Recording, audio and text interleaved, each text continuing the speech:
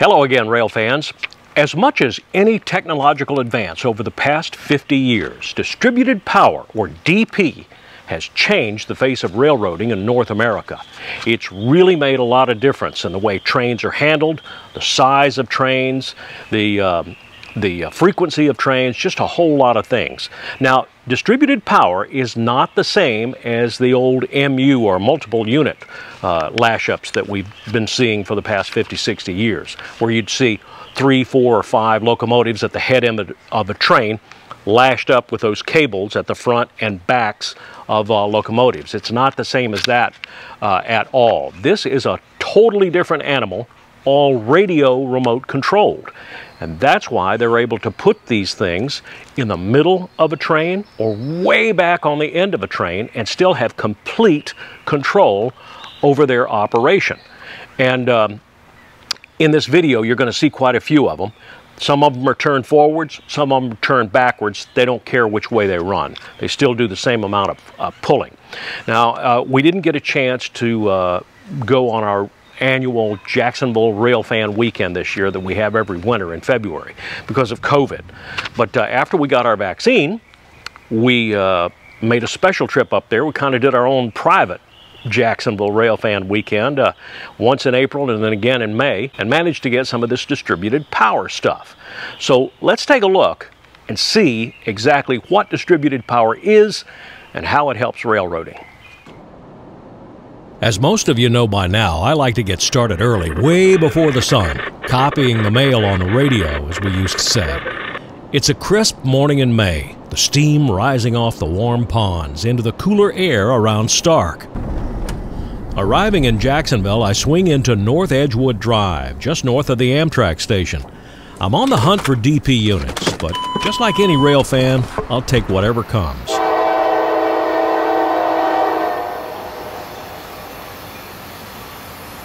The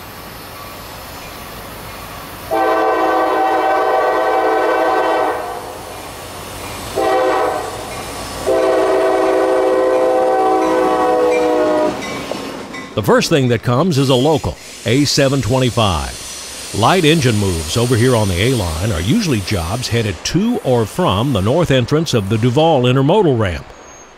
Three weeks earlier, I was right here when I heard a track inspector coming south toward me. Turned out it was a high rail truck leading a track spraying rig. Plant life is constantly trying to grow around railroad tracks, so the roadbed must be periodically sprayed with herbicide. I didn't want to be among the targeted species, so I backed up about 30 feet.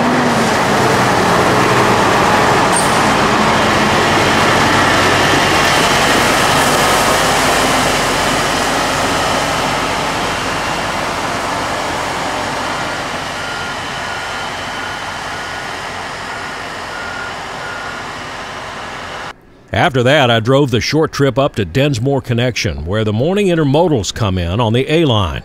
Looking south from the Trout River Road crossing, there was good news. The Dinsmore turnout was bent toward the yard. Someone was lined to come in.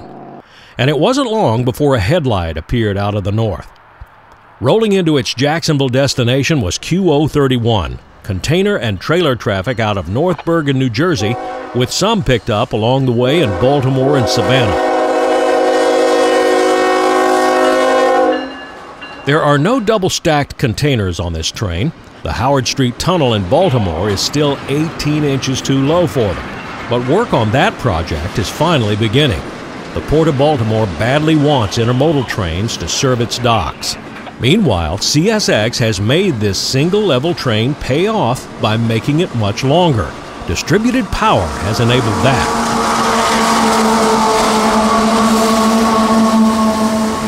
The objective of DP is to run longer trains more efficiently and easily through better management of in-train forces. Remember what a normal train is. A power source at the head end pulling a payload that's all behind it. The more cars back there, the more stress on those couplers in the first third of the train. Put a locomotive back there in the middle, and you've effectively relieved some of that stress on the cars ahead of and right behind it. DP engines run as remotes and are radio controlled. They can be set up to mimic the commands of the lead engine with software accounting for the tonnage and length of the cars in front of and behind them, following closely what the engineer in the lead locomotive does. It's pretty amazing stuff. DP units can also be run separately. Some crews call this putting up the fence because the control screen will show a dividing line between lead and remote engines. When in separate operation, the engineer gains new control over throttle and dynamic braking on the remote. This is very helpful when cresting a grade. In most cases, the engineer will throttle down after the lead unit reaches the top of a hill to limit the risk of a train separation. With a DP unit at mid or end train and running separately, he can throttle down the lead engine while letting the DP continue to pull its part up the hill. Thanks to distributed power, trains like QO31 can be as long as 15,000 feet, but this job has been averaging 10 to 12,000 lately. Okay, we'll pick the rest of this up later. Right now, we got a hot rail on track 2. It's Amtrak 91 coming into its Jack Station stop. 291, engine 164, and advance approach, Denver, track 2, solid.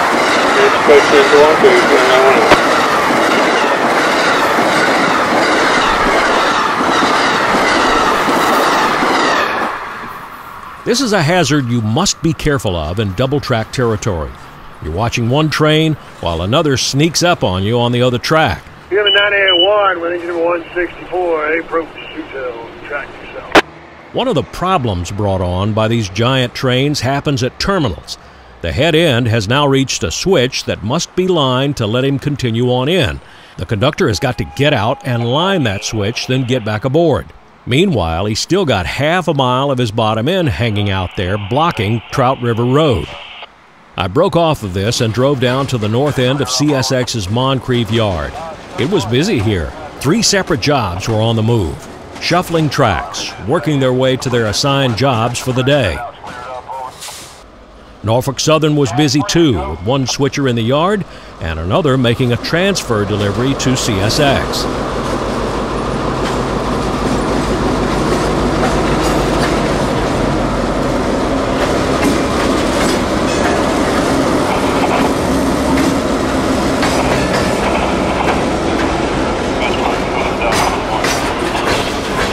It was also nice to see one of the MP15 AC switchers they have up here. CSX doesn't use these in the yards in Tampa or Winston, so those of us down in tropical Florida don't see them very often.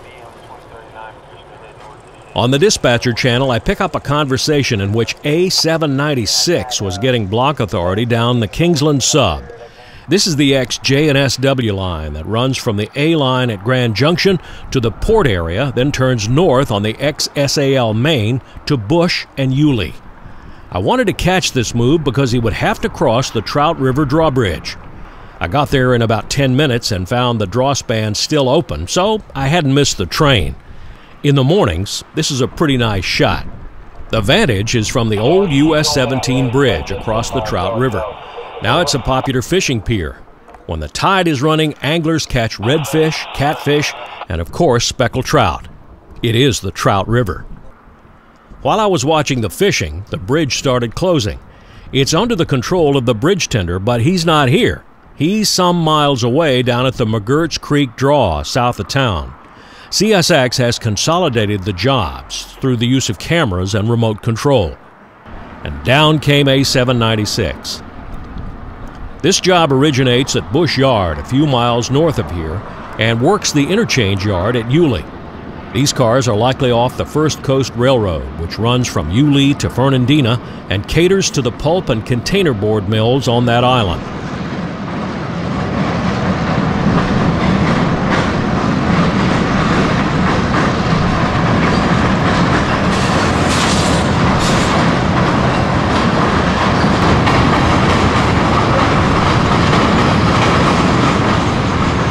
The boxcars are likely loaded with finished kraft paper or containerboard paper. That's cardboard to you and me. The next action I hear is back down in town on the SP line. 0755 was coming out of Duval Ramp, so I beelined it to a place I knew, Edgewood Avenue at the corner of Beaver Street. The West Jacks Yard is behind me, and Carnegie Siding is ahead. 755 was in the siding, clearly waiting on someone. By the time I realized what was happening, QO32 was blowing for the Edgewood crossing, right behind me. This is another lesson in trackside safety. Always be alert to what's happening behind you. Keeping back from the tracks is the best way to stay safe.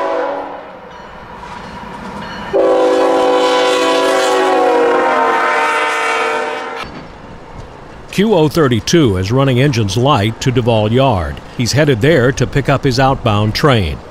When QO32 passes, 0755 gets the green light to head on north.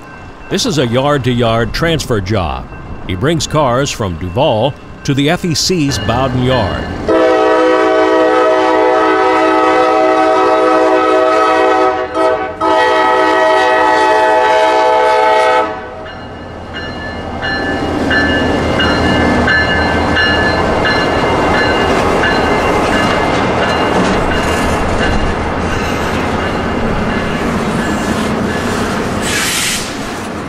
Some or all of these containers came in on QO31, the train we saw earlier at Dinsmore.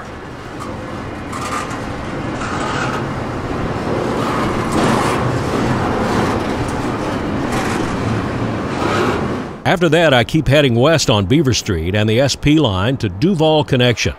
This is the southern entrance to the Duval Intermodal Ramp. It's a busy place this morning. The crossing signals on Beaver Street light up for Q143, coming out and headed around to Moncrief Yard.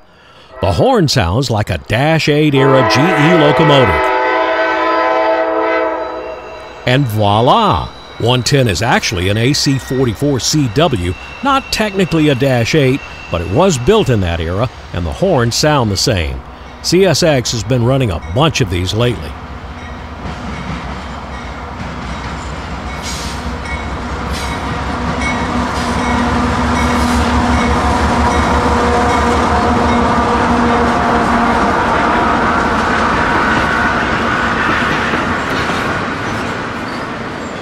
Q143 comes out of North Baltimore, Ohio to Jacksonville. I'm not sure where this cut is headed.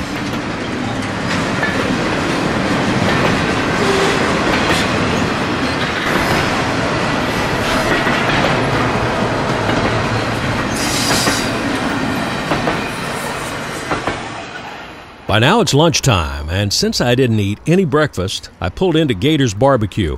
This is on Beaver Street at Cahoon Road. The gravel parking lot is already filling up at 11:30 on this Saturday morning.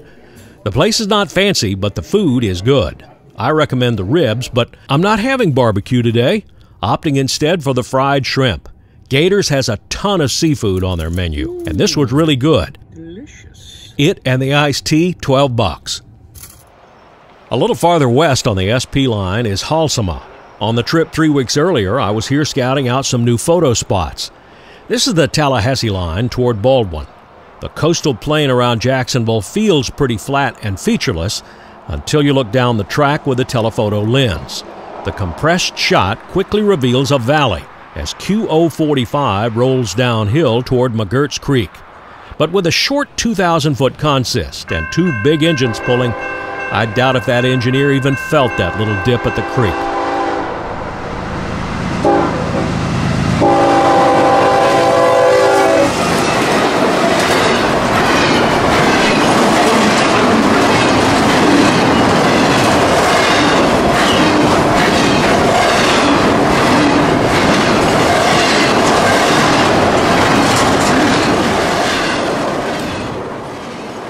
QO45 is nightly intermodal traffic for Tampa. We'll get back up to the yard and watch one of those giants get ready for departure right after this.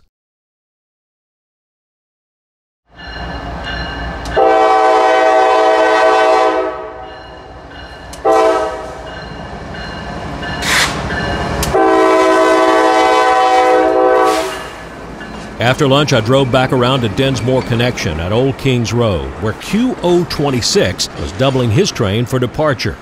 From this crossing, it's almost a mile back to the throat of Duval Yard, but that's not enough room for this train anymore. He will double, then triple to get this consist assembled. It will take more than an hour. For much of that time, he will have Old Kings Road blocked.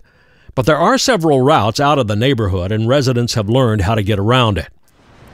Finally, at 1430, QO26 is solid and departing Jacksonville, with two engines leading and one at mid-train DP. Distributed power, most likely Wabtec's Locotrol remote system on these engines, helps make these two-mile-long beasts possible by minimizing slack runout and bunching en route. A single change in throttle notch on a train powered only on the head end can result in a severe slack action wave. DP maintains a much better level of slack action control throughout the train. When you have motive power at mid train, that also serves as another air compressor. The brakes respond more quickly and efficiently. Distributed power not only improves train handling, it also improves fuel economy and reduces rail wear. In curves, the rear of a heavy train is resisting the head end power by trying to crawl inside the curve. The wheels grind on the inside rail and speed its wear. If those cars are behind distributed power at mid train, the drag factor is greatly reduced and so is wear on the rail. I got through all that technical gab, and QO26 is still coming out of Duval Yard. I heard over the radio that the conductor, over two miles back there, would catch a ride and meet the head end out there on the main line. Hi, Old Kings. Thank you, sir. That meant that 26 would have to slow down to at least walking speed at the pickup point, giving me time to leapfrog him to Callahan. 2615 11 and a half miles north of Dinsmore is Callahan Junction. This is where the Seaboard's ex Florida Railroad crossed the Atlantic coastline, main. The mileposts are a little confusing here because of the historic predecessor roads. While the coastline keeps its Richmond to Tampa milepost figure, A624, the seaboard side is only a 20 here. When the SAL pieced itself together in the early 1900s, its main line came in from the north through Jacksonville.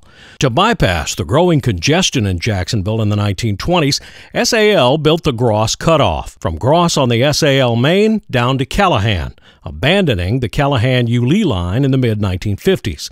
The line was renamed the Gross Subdivision, and mileposts reflected the branch line status starting with SM 605 at Gross and counting upward as it went south to SM 639 at Baldwin. Preferring the A line for its main into Florida, CSX in 1985 abandoned most of the Savannah Yulee segment of the S line, as well as the Gross cutoff. Sometime around the 1967 SAL ACL merger, the newly formed Seaboard Coast Line renumbered the mileposts of the now Callahan sub from zero at Baldwin to 20 at Callahan and 34 at Gross, counting upward as it went north, backward from all other parts of the system. And that's all I know about that. I'd been here about 30 minutes when QO26 started calling the signals approaching Callahan. Now, clear signal on South Callahan, QO 2615, lead motor, CSXT 3161. That's track 1, northbound. After solving some PTC problems, he's rolling good now.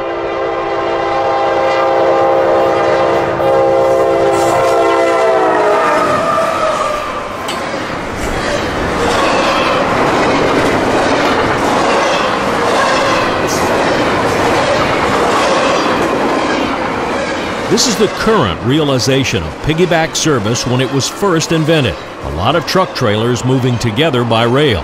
Clear North Callahan, QO 2615, lead motor, CSXT 3161, track 1, northbound. That DP unit is not idling anymore. He's running wide open, pulling his part of QO26. DPs are placed in the train according to the tonnage behind them. 38 wells up front and 127 behind the DPU. Today's QO26 is largely empty, at least on the bottom, 11,897 feet.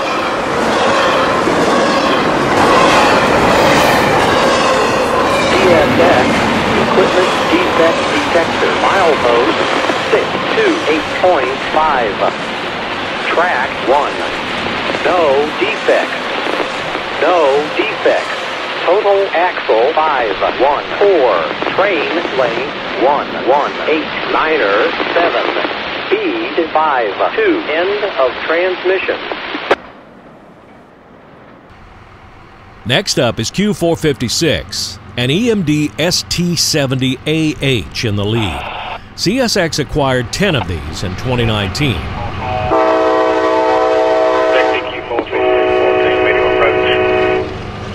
Three to one on uh, the Callahan turnout.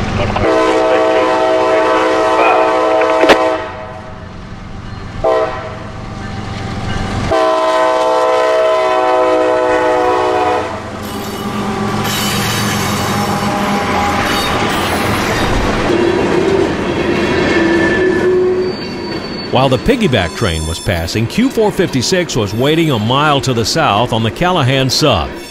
It's not clear why he had to wait almost an hour down here for 26 to clear. This is all double track territory. It seems like the dispatcher could have run both trains all the way to the Jesup sub at least, but there was clearly some factor preventing it that I didn't know about, and that's why I'm not a train dispatcher. Q456 is an Orlando to Waycross daily mixed freight, and even though it's 100 feet longer than the intermodal that just passed, there's no DP on this train today, likely because of it being mostly empty and a relatively short run. If you do any rail fanning at Callahan, bring your ear protection. Trains entering or exiting the Callahan sub SM line can really squeal on that curve. Ear shattering. Next up, we'll make a stop in Norfolk Southern Country right after the break.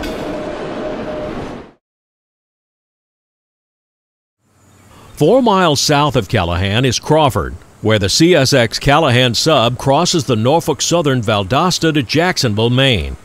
Three weeks earlier, I was here in the morning for the NS southbound parade. First in was actually a northbound. NS 330 was going into the Crawford siding to wait for that parade. Next up was NS 175, daily southbound mixed freight out of DeButts Yard in Chattanooga to Bowden Yard in Jax. This is traffic for the FEC.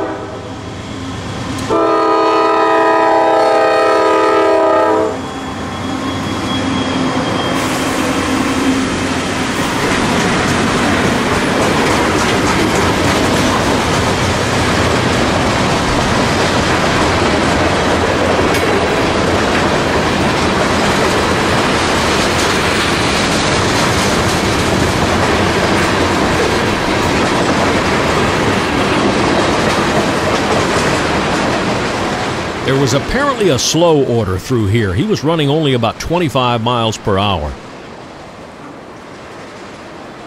The stark difference from a CSX freight is in the way NS makes up a train. There is stuff sprinkled everywhere throughout this consist. Three loads of coil steel, then two tanks, then three big covered hoppers, another tank, a covered hopper, then a couple more racks. CSX seems to group up car types as much as they can.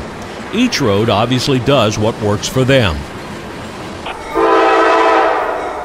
On 175's markers was NS 209, intermodal traffic for FEC out of Inman Yard in Atlanta. Once again, it looks like they build this train as it comes into the yard. Loads, empties, welds, flats, and trailers sprinkled throughout the consist.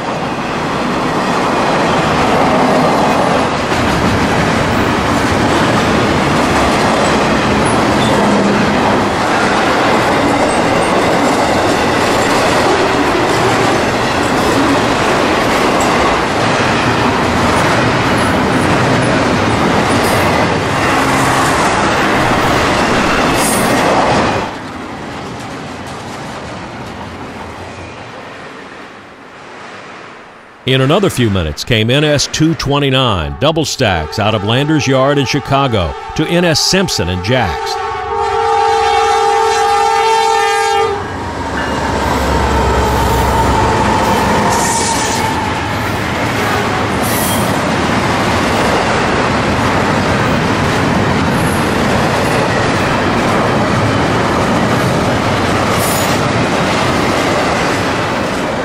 This looks like Norfolk Southern's own traffic for Jacksonville and includes a sizable block of UPS trailers on the bottom. It looks like that slow order isn't as slow as I thought.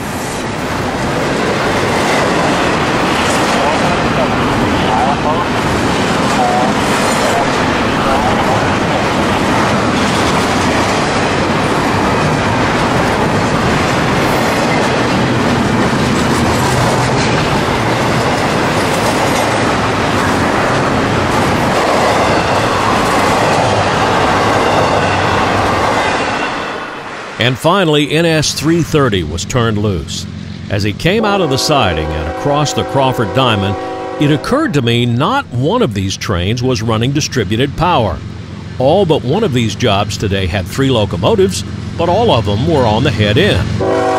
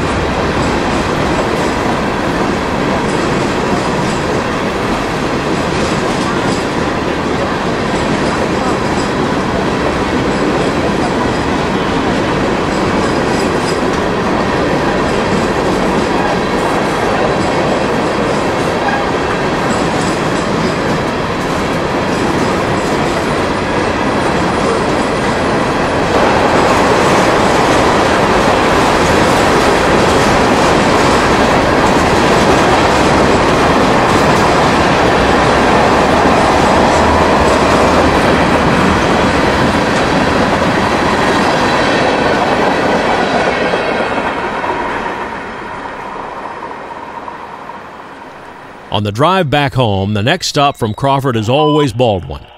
K423 is a multiple times weekly ethanol move off the Canadian Pacific in Illinois to Tampa. It often has run through power. Today it's a BNSF C44 9W and a Kansas City Southern ES44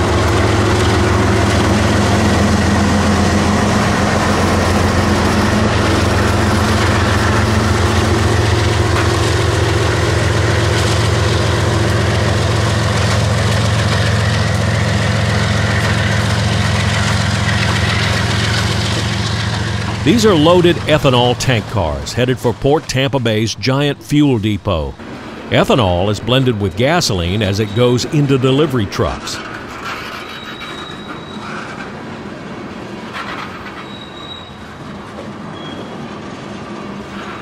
And bringing up the rear is a BNSF ES44C4 running as remote DP. Now, K423 is not particularly long, but it travels a long way, and long trips are where distributed power can really help. Traversing the hilly country of Kentucky, Tennessee, and northern Alabama, the DP unit on the bottom can help mitigate slack action on this heavy train. It also greatly helps with starts and stops. Remote units running 5, 6, or 7,000 feet away was problematic because of loss of signal from the DP unit to the head end but improved diversity and multi-frequency radios have eliminated many of these problems. Moving on southward on US 301, I hit an unscheduled stop in Lawtey. G450 14 clear. Line man, track 1, CSX 3016, north. I'm barely leveled up on the tripod when here came Q452, daily Miami, Lakeland to Waycross freight.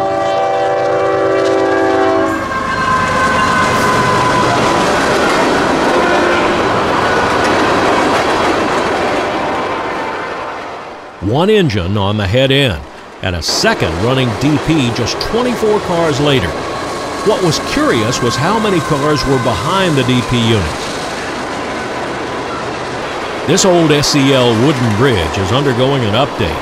Some of the creosote treated wood in this structure could be from the SAL era.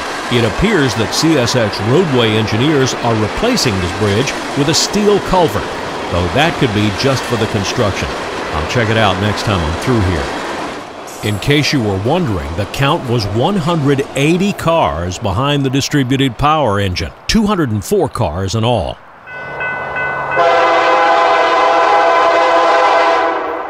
On the trip three weeks earlier, I caught K423 at Lawtey. This 423 had two Canadian Pacific engines in the lead. The train originates off the CP and is interchanged to CSX at Bensenville, Illinois. The Canadian power has been left on and run through all the way to destination and back. But here's what made K423 really interesting on this day.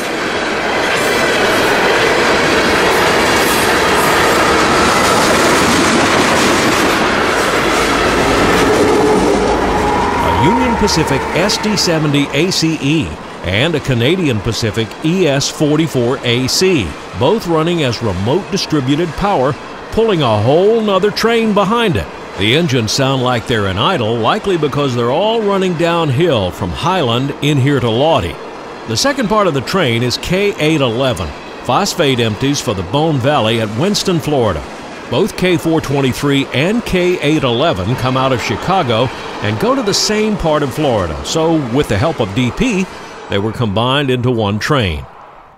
Q452 is always a good bet for those rail fanning on the S line anywhere between Callahan and Vitis Junction.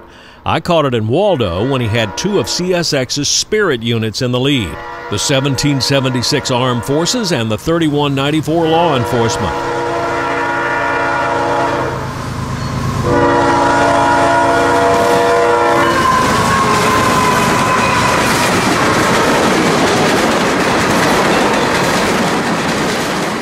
Really like Waldo because of the curve and the bridge.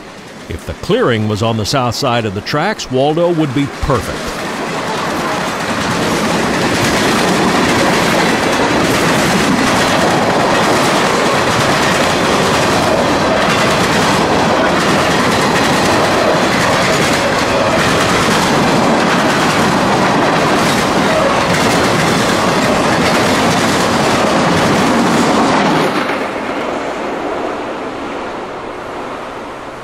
It wasn't dinner time yet, but I really wanted to try this place, Randy's Ribs in Waldo. It's just the other side of the bridge and next to the old Amtrak station. This place is always busy. Now, please don't think I'm nuts, but I didn't order the ribs or any barbecue at Randy's Ribs either. Like Gators, they also feature seafood prominently on the menu. When the lady at the window told me the oysters were fresh shucked, my mind was made up half dozen fried oysters, hush puppies, beans, and coleslaw. 11 bucks with iced tea. And as usual, I ate it by the tracks and in the shade of the bridge. Next stop was Wildwood, another easy spot to set up and wait for trains. I'm just south of the old Seaboard passenger station, now the Crew and Signal Forces office. It was almost sundown when QO45 rounded the curve into Wildwood.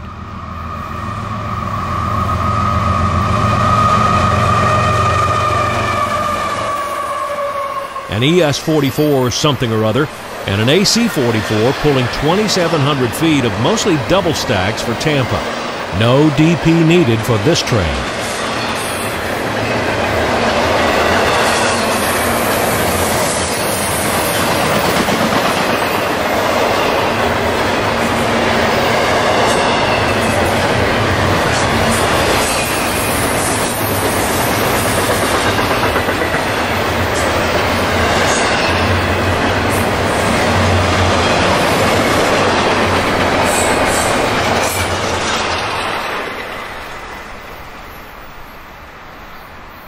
Well, I hope this gave you some understanding of what distributed power is, how it works, and how it uh, helps railroading.